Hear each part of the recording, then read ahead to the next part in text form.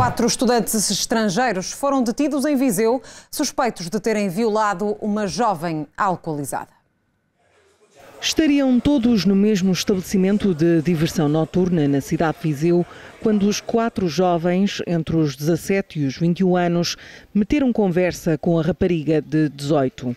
Perceberam que a jovem estaria bastante alcoolizada e ter-se-ão aproveitado do estado de embriaguez para a levar para o apartamento onde todos viviam. Terá sido na habitação que a jovem foi abusada sexualmente várias vezes. A Polícia Judiciária investigou todos esses pormenores e acabou por chegar à identidade dos suspeitos.